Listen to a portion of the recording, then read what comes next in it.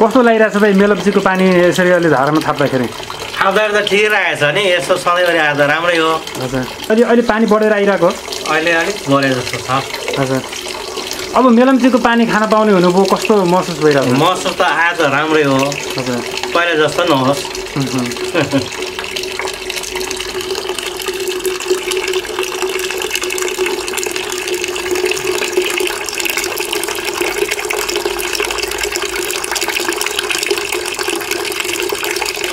बेला म काठमाडौँको चुच्चेपाटी क्षेत्रमा रहेको छु।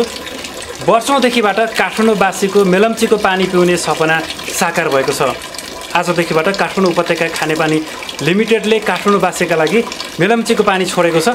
आधी घन्टा अगाडि महाङ्काल स्थित पानी सङ्कलन तथा प्रशोधन केन्द्रबाट मेलम्चीको पानी छोडेको थियो। अहिले यसरी उपभोक्ताको घरको धारामा पानी आइसकेको छ।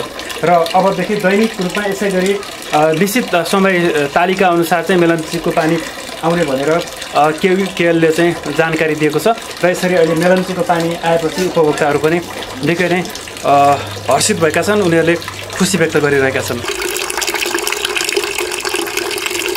त्योभन्दा पहिला चाहिँ अब तिन दिनमा एकचोटि आउने हो दुई घन्टा। हजुर। त्यही हो समस्या हुने तिन दिनमा चाहिँ एकचोटि एक एकचोटि आउने हो। दिनमा दुई घन्टा। दिनमा दुई घन्टा मात्र आउँछ। हजुर। अनि के पानी भरेर राख्नुहुन्छ कि? पानी भरेर राख्ने हो ड्रममा। ड्रममा भरेर राख्नुहुन्छ अब त दैनिक पानी यसै गरी आउँछ भनिरहेका छन्। अब यसै आयो भने त झन् राम्रो ड्रम छ भन्नु परेन। समस्या हल भयो। हजुर। कस्तो लाग्यो दिदी मेलम्चीको पानी? मिठो छ। मिठो छ है? कस्तो लागेको छ? आजदेखिबाट मेलम्चीको पानी आउन थाल्यो। राम्रो। अब सधैँ पानी आइरहेको झन् राम्रो नि। हामी पानी जानु पर्दैन। तपाईँको नाम भनिदिनुहोस् न। मेरो नाम सुमित्रा भण्डारी। यो खानेपानीको चाहिँ कतिको समस्या भोगिरहनु भएको थियो तपाईँहरूले अब मेलामचीको पानी आएपछि त दिनकै आउला नि। पानीको समस्या नहोला नि।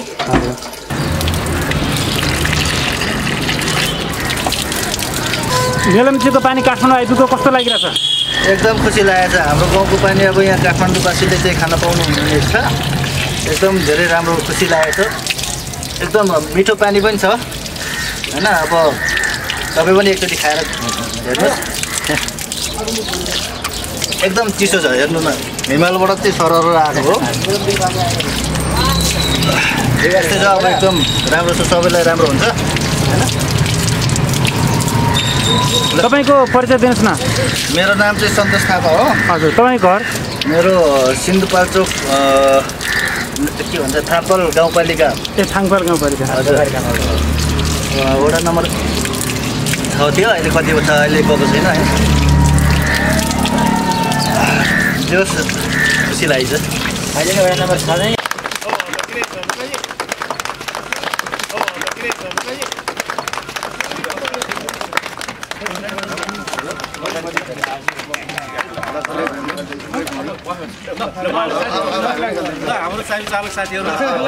यति बेला म काठमाडौँको चुच्चेपाटी नजिक रहेको यो महाङ्काल पानी ट्याङ्कीमा रहेको छु। यो काठमाडौँ उपत्यका खानेपानी लिमिटेडको पानी सङ्कलन तथा प्रशोधन केन्द्र रहेको छ र अहिले म यो यतापट्टिको यो पानी प्रशोधन केन्द्रमा रहेको छु। मेलम्चीबाट सुन्दरी जल हुँदै आएको पानी अहिले यो महाङ्काल स्थित यो पानी सङ्कलन केन्द्रमा अहिले सङ्कलन भइरहेको छ र यही पानी सङ्कलन केन्द्रमा सङ्कलन गरेर यहाँबाट प्रशोधन गरेर काठमाडौँवासीलाई मेलम्चीको पानी वितरण गरिँदैछ।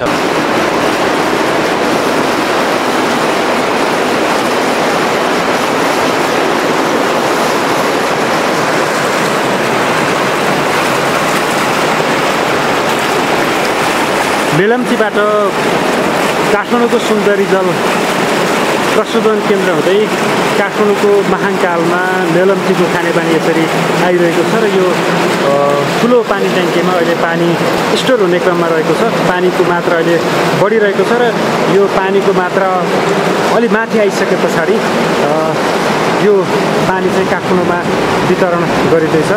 दर्शकबिन यो मेलम्चीको पानी पिउने काठमाडौँवासीको निकै लामो सपना अब पुरा हुने क्रममा रहेको छ।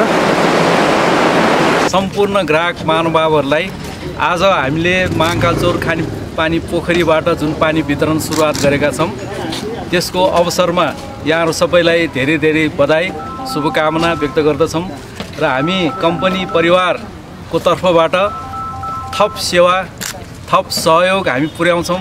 यहाँलाई चाहिँ आलो पालो पानी वितरण गरेर हुन्छ कि हाम्रो सेवाहरूलाई छिटो छरितो गरेर हुन्छ कि त्यो हामी पुर्याउन प्रतिबद्ध छौँ।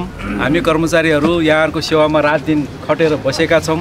अझ हामी यो थप पानी हामीलाई प्राप्त जुन भयो यसले हामीलाई धेरैलाई राहत प्राप्त हुनेछ। कर्मचारीहरूलाई पनि निकै कठिनाइ थियो। यहाँले धेरै सहयोग गरेर आउनुभयो। त्यो सहयोगको लागि पनि हामी मुरी मुरी यहाँलाई धन्यवाद ज्ञापन गर्दछौँ। र आगामी दिनहरूमा धेरै सहज हुने अवस्था रहन्छ भनेर यहाँलाई फेरि पनि म शुभकामना व्यक्त गर्न चाहन्छु। यो अहिले पछाडि तपाईँले घुमाइरहनु भएको छ नि यो यसबारे बताइदिनुहोस्। यो के हो पानी खोलिएको हो अहिले? अहिले हामीले मेलाम्चीको पानी अहिले जुन हाम्रो पोखरीमा महाकालचौर पानी पोखरीमा जम्मा हुन आएको छ त्यो पोखरीलाई खोलेर हामीले अहिले यो Chabahil area Kutubahal area Anandnagar area यो लाइनबाट जहाँ जहाँ पानी पुग्ने हो त्यो एरियाहरूमा पानी चाहिँ खोलेर सुरुवात गरेका छौँ। यहाँले ती हाम्रा ग्राहकहरूमा पानी आयो आएन पनि अहिले जानकारी पाउन भनेपछि अब सक्नुहुन्छ यो ग्राहकको घरमा पानी पुग्यो अब त। अब यहाँ खोलेपछि अब ग्राहकहरूको धारामा पानी गयो। आधी घन्टाभित्र घरमा पुग्छ। यो अहिले दिनमा चाहिँ कति घन्टा वितरण हुन्छ? कन्टिन्यू हुन्छ कि के हुन्छ? अब हाम्रो अहिले परीक्षणको क्रममा छ। जस्तो कि अब चार करोड लिटर प्रतिदिन अहिले आजबाट आउँदैछ हामी कहाँ भने त्यो बढ्दै बढ्दै जान्छ। त्यसैको आधारमा हामी समय तालिकाहरू अ, लाई थप गर्दै सकेसम्म दैनिक नसकेको अवस्थामा दिन बिराएर तालिकाअनुसार हामी पानी वितरण गर्ने योजना बनाएका छौँ। त्यो अनुसारले हाम्रो ग्राहकहरूका पानी चाहिँ अवश्य पुग्नेछ। कुनै ग्राहकमा नपुगेको अवस्था छ भने पनि हामीलाई जानकारी प्राप्त हुनासाथ के गर्न सकिन्छ भनेर हाम्रो ऱ्यापिड रेस्पोन्स टिम फिल्डमा रहनेछ। उहाँहरूले आवश्यक व्यवस्थाहरू मिलाउनुहुनेछ। यो पानीको शुल्क पुरानै हुन्छ कि तपाईँले नयाँ दर रेट पनि अब काम गर्नुहुन्छ? हाम्रो पानीको शुल्क अहिलेलाई यथावत नै छ। हाम्रो उद्देश्य अहिले उपभोक्ताहरूलाई पहिला पानी राम्ररी दिउँ त्यसपछि बल्ल अनि चाहिँ शुल्कको कुरा गर्नु पर्ला भन्ने किसिमको हाम्रो सोचाइ छ।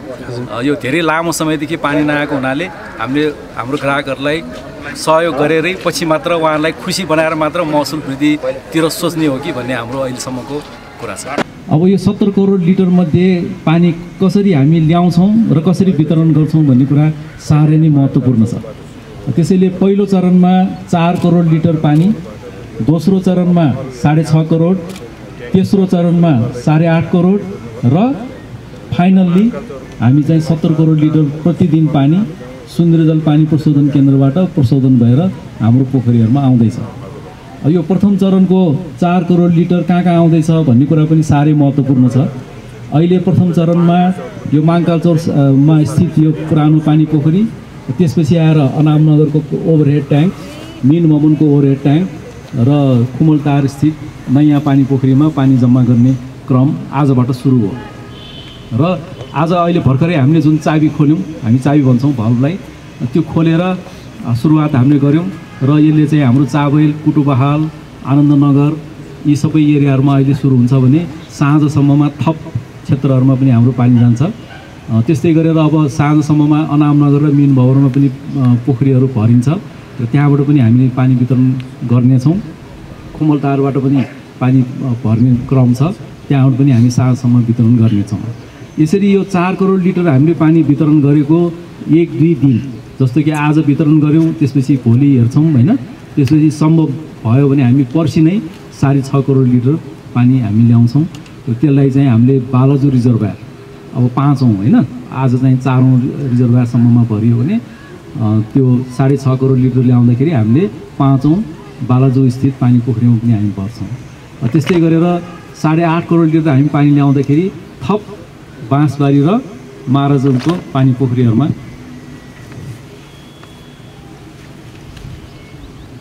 पानी ल्याउँछौँ र ती ती क्षेत्रहरूमा हामी पानी वितरण गर्नेछौँ। अब पानी वितरण हामीले कसरी गर्न सक्छौँ भन्दाखेरि अब काठमाडौँ उपत्यकामा पानीको माग अहिले दैनिक त्रिचालिस करोड लिटर छ। अब हाम्रो पुरानो पानी आठ करोड लिटर र चाहिँ अब प्राप्त हुने हामीले टोटलमा सत्तर करोड लिटर जोड्दाखेरि पच्चिस करोड लिटर मात्र भइरहेछ। भनेपछि अब त्रिचालिस करोड लिटर आवश्यक छ पच्चिस करोड लिटर हामीले पानी प्राप्त भइरहेको हुँदाखेरि हामीले अहिले पनि हामी चाहेर पनि चौबिसै घन्टा पानी दिन सक्ने अवस्था रहेन। र चाहेरै पनि हामीले दैनिक सबै ठाउँमा पानी दिन पनि सक्ने अवस्था अहिले छैन। त्यो किन भन्दाखेरि हाम्रो यो पुरानो पोखरीहरूबाट पानी जुन निस्किने पाइपहरू छ ती साना साइजका छन् पर्याप्त मात्रामा छैनन्। ती लाइनबाट धेरै धेरै धाराहरू जोडिसकेका छन्। त्यसैले हामीले त्यो लाइनमा धेरै घन्टा दिनभरि नै पानी दिइराख्दाखेरि पनि त्यो सबै धारामा आउन अलिक गाह्रो छ र फेरि अर्को धारामा पनि दिनुपर्ने छ त्यो भयो हुनाले हामीले यो धेरै छलफल हामीले गऱ्यौँ। हरेक पोखरीहरूको हामीले छुट्टा छुट्टै टिम बनाएका छौँ। रिजर्भर कोअर्डिनेसन टिम भनेर हामीले गरेका छौँ। र त्यो सबै बसी बसी हामी सबै शाखा प्रमुखहरूले आफ्नो आफ्नो क्षेत्रको पानी खपत कति हुन्छ कति माग छ र कति हामी दिन सक्छौँ।